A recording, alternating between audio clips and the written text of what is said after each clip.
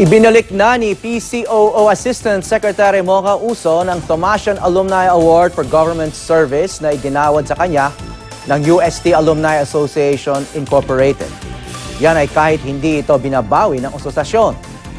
Ginawa raw ito ni Uson para matigil na ang pambubuli sa nagbitiw na presidente ng asosasyon na si Henry Tenedero. Hindi naman na pinalagpas ni Uso ng mga bumabatiko sa kanya. Kabilang na ang kapwa awardee na si Senador Joel Villanueva. Anya, hindi dapat magmalinis ang senador lalo na't pinapadismiss siya ng ombudsman.